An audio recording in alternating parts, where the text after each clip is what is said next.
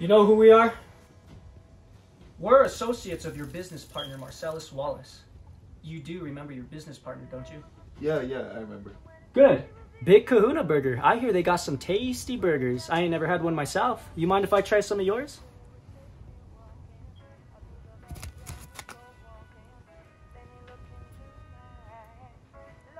Hmm. This is a tasty burger. You know what they call a quarter pounder with cheese and France? No. Tell them, Vincent. Royale cheese. Royale with cheese. You mind if I have some of this tasty beverage to wash some of this down? Go right ahead.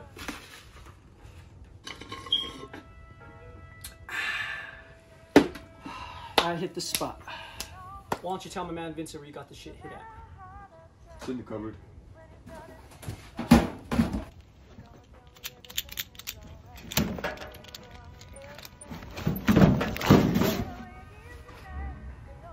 We happy? Vincent! We happy? Yeah, we happy. Tell me, what does Marcellus Wallace look like? What? What country are you from? What? What? What ain't no country I heard of? They speak English and what? What? Say what one more time. He's black. Go on. He's bald. You read the Bible, Brad? Y- yeah?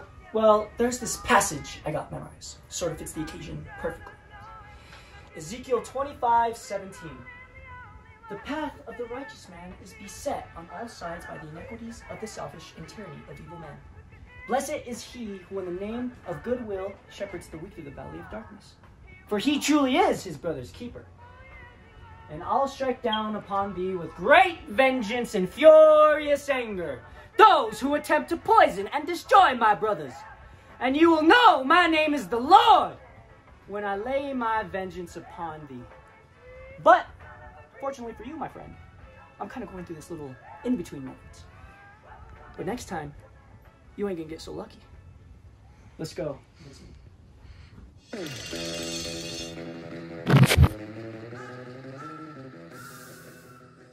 You go. Yes, sir. Yes. Oh.